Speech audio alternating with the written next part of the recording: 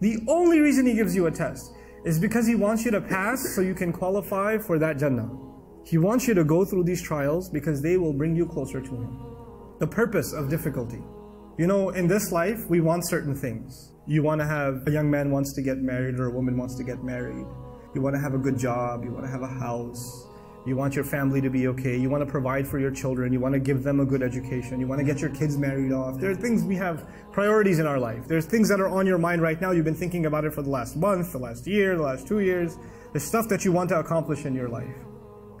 Allah Azza wa Jal teaches us in His book that there's one thing, if you can get it in this life, it's more valuable than everything else. Everything else will be okay if you have this one thing. And that one thing is a closeness to Allah is being good with Allah and truly developing a connection and a bond with Him.